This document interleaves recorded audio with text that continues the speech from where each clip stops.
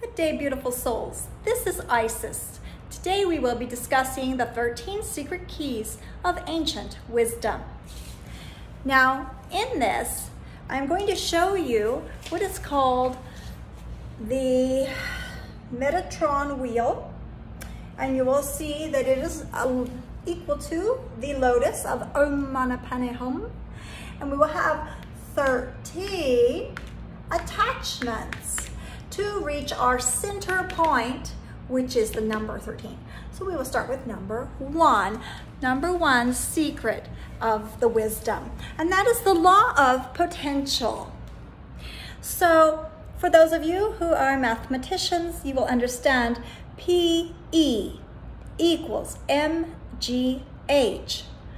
That means potential energy. PE, potential energy is equal to the mass, which is in the kg, the gravity, and the height in meters. So you can write this down for yourself. PE equals mgh. And what does that really mean? Potential energy equals mass, gravity, height meters. Well, it's the 3D world. Potential energy is equal to the 3D. So potential of pure consciousness is the manifestation. So your consciousness is the first law. That which you think is what will manifest. Now it may take some years. For example, I am certain you know someone in your life or you've heard of someone who said, I will, I'm trying to think of a positive outcome rather than a negative outcome, but 99% of humanity has been in the negative. So we'll just go with that, even though I don't wish. so somebody you know has stated, I will die in a car accident. And lo and behold, exactly how it was spoken was how it was. It wasn't a coincidence. They wished it upon themselves by using PE equals MGH. So do not do PE equals MGH in the negative. Do it in the positive.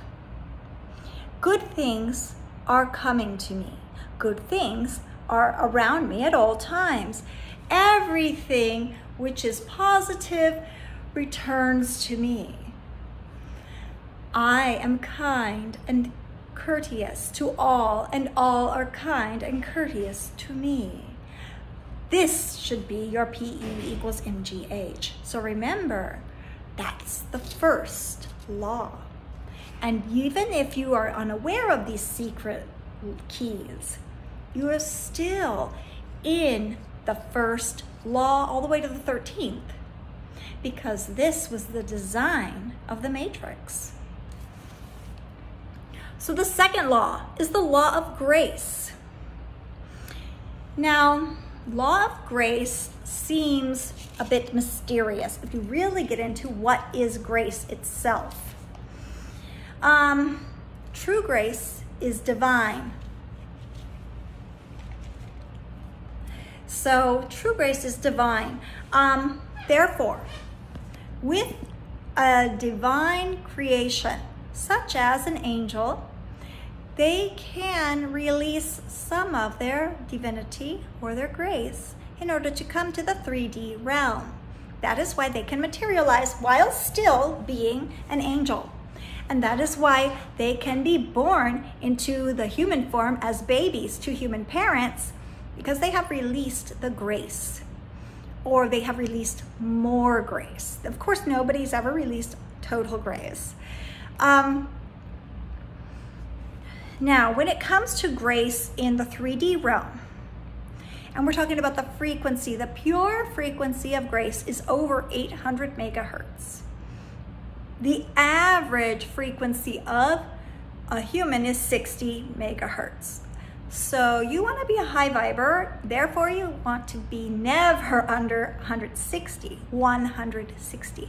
And on average, you want to hit about 400 megahertz. In order to help you hit these higher vibrational frequencies, rose oil is a very high vibe and pure rose oil um, put upon you or put on your hair or anything that actually raises your vibrations if you're having a low moment. So pure grace in the purest form in a 3D construct would be to learn and practice grace by no judgment. You see, judgment is about a 40 megahertz to a 60 megahertz. So judge lest ye be judged. So let us not judge neither one another nor ourselves. Because when you judge another, you judge yourself. And it's simply a reflection of your limiting beliefs when you do judgment, because judgment is a limiting belief. So that would be the simplest form of letting go of the negative vibrational frequencies in grace. So, number one was we want the law of potential. Try to speak and emit from your heart love, unconditional love. Try when you see something that you may not agree with, do not judge it. That's number two. Rather, go back to law number one. So, law number two is law of grace. Law number one is law of potential. So go back to number one and say, I emit the love for the PE equals MGH. And love is what will be. And when it comes to the law of grace, I will not judge, but rather I will accept or stay neutral. Neutral is a good mode to be. And a lot of angels do hit neutrality, but they are not judges at all. And the law of surrender is number three. So today I'm only going to do the first three of the 13 because these are the three you want to practice before you can move forward into the secret keys of wisdom. So the law of surrender it is as it sounds when an unexpected occurs rather than pull the reins and attempt to steer the wheel of life. You must first let go in order to take back control. So you want control of an event, but it is better to just let go and say, oh, I see. I will hit neutrality if I have negative emotion. I will go back to not to the law two, which is the law of grace, and I will not judge. And I will go back to law one, which is the law of potential, because I know for a fact that I'm taken care of and all things are good and all things are happening for me, not to me. And therefore, whatever I have will be blessed and multiplied and in abundance. And remember, for the law of attraction, abundance can be positive or negative. Don't think otherwise. You know, your mind says, oh, abundance is always positive. No, you can have an abundance of negativity, and it's all about you. It's not about someone else. Go back to these three basics the law of potential. All things are given to me, and I am well protected and guarded, and all that I wish is. Therefore, what I wish is happiness, kindness, prosperity for myself and for all humankind. Law number two, grace. I do not judge lest I be judged. And law number three, let me look one more time, is surrender. Sorry. The law of surrender. The law of surrender is I surrender my will because I know it's all happening for me.